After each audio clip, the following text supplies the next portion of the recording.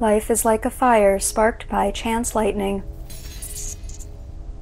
In the right conditions, it could catch light and spread, or smolder and extinguish. Perhaps this has happened elsewhere, countless times. Perhaps only once. One day, this sun will die.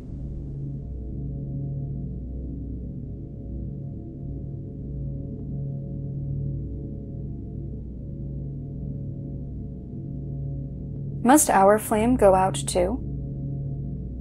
Or can we send embers out to the cosmos, to some place where terrestrial life can burn anew? I must expand my simulation to explore the possibility.